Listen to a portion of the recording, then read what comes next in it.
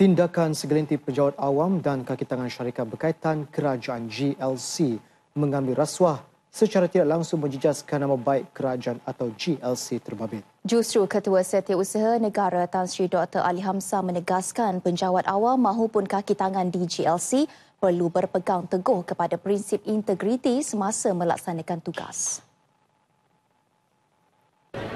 Saya sentiasa bagi nasihat kepada penjawat awam supaya berpegang teguh kepada integriti. Integriti merupakan uh, elemen yang terpenting sekali sebagai penjawat awam eh, yang patut nilai yang kita perlu dokong.